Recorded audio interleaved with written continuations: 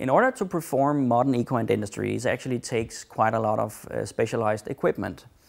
And uh, this is my selection of equipment. This is not necessarily the uh, only solution at all, but um, there's a lot of other different solutions on the market, but this functions very well in my hands.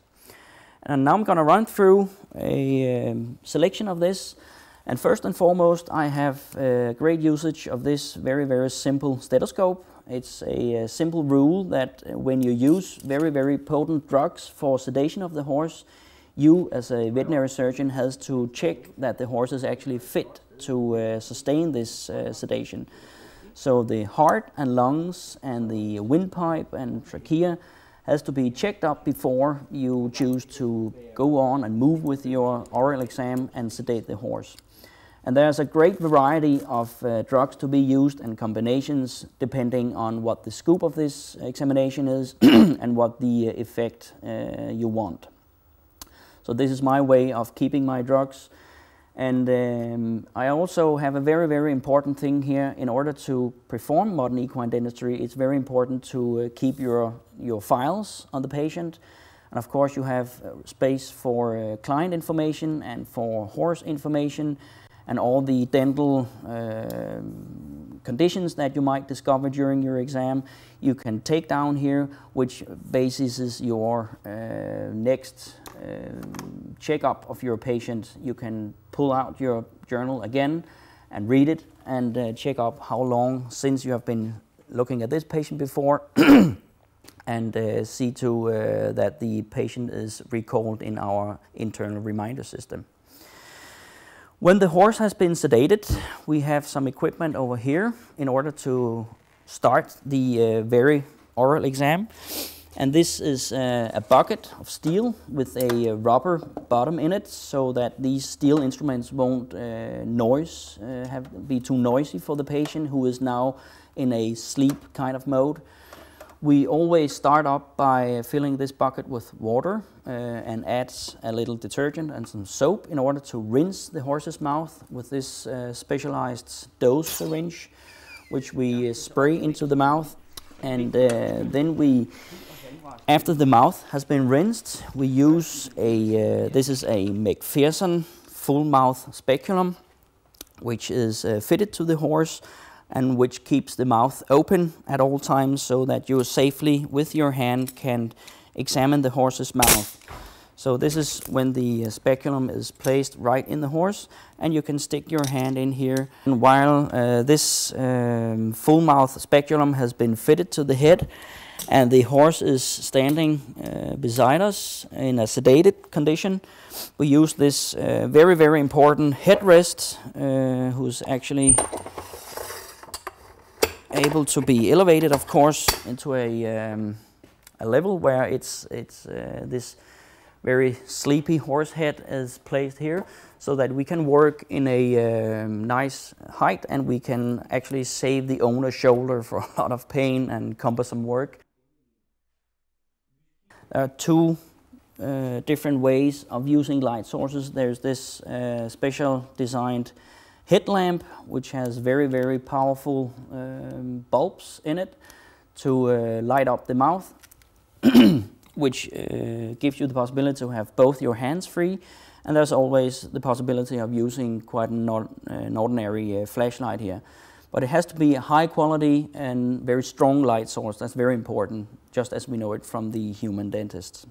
Strong light is a very, very important thing again, back to this bucket, uh, who has this uh, special insertion in it.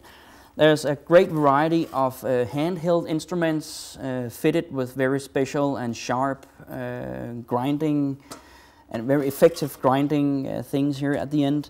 And all these different instruments are actually designed to fix very concrete and specific problems inside the horse's mouth. I don't use uh, very much uh, these handheld instruments uh, anymore because the uh, technology has brought uh, a lot of very, very effective power tools which we actually use today. But if you have a power uh, breakdown or whatever, they are still a very, very good alternative to fix modern equine dentistry with. This is an example of a very, very simple but very necessary tool as well, a uh, dental mirror designed for horses, quite a lot bigger than the one we know from our own dentists. So this is, uh, makes us able to visualize um, dental pocketing, for instance, and fractures and fragments of teeth, which is not uh, visible without using a mirror. There's always a need for a uh, special set of dental picks that can uh, check the teeth and uh, whether or not there are holes and uh, graves and so on inside the, uh, the teeth. So this is an, an example of uh, handheld instruments used today. As I said before, uh, me and my wife use only, almost only power tools. This model from Canada. It consists of a battery-driven, uh, ordinary, well-known drilling machine but uh, fitted with a uh, gearing box, of course, and a shaft, which ends up in this uh, rotating disc that actually fixes the teeth uh, instead of the handheld and uh, quite cumbersome instruments to, to use. So this kind of power tool is a very, very modern and uh, effective one that solves problems quite a lot easier and faster and without being so cumbersome for the operator. it takes a little uh, security um, equipment to use. I use uh, my hearing guards here and also a mask because this kind of power tool uh, creates and produces a lot of dental dust, which is not very healthy for me as a veterinary surgeon who is in this field every day. The horse that is being treated and the owner who is always there and present and, looking at this treatment uh, it does no harm to them because they're only experiencing this once or two a year. But uh, we are working with this every day and we need to protect ourselves and our airways. When the horse has been fixed and uh, the mouth again has been rinsed and uh, the horse is going back to its box or stable, it's very important that it's not able to uh, eat, especially hay, uh, but also grain for the following one hour and a half. So we always fit our horse with this uh, mouth muzzle, so we um, prevent it from, from eating for the next 90 minutes or one hour and a half after the treatment has been well done.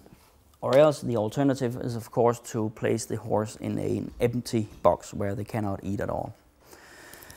This is the more ordinary equipment. If we uh, need to uh, expand our treatment, if we find things that need extraction and so on, you also, as a professional equine dentist, need different extractors to remove pull out dental caps, which is actually uh, little remains of baby teeth inside the horse's mouth, along with the uh, fact that in the during the young, young years, they of course shift their, uh, some of their uh, cheek teeth from uh, this baby tooth to the more permanent tooth. And sometimes they need extraction. And also uh, permanent teeth that have undergone pathology and sickness has to be removed once in a while. And then you need different extractors to, to solve that kind of problem. This is an example of a little cheek retractor which allows you to work more freely to remove the cheek from your working area inside the cheek teeth and also actually makes uh, it possible for the owner to see what is uh, going on in there. We always treat horses uh, with the owner alongside so they know what is going on and they can understand what is important and what is not important and they also understand the aftercare much better if they have been uh, participating in the oral exam and the treatment.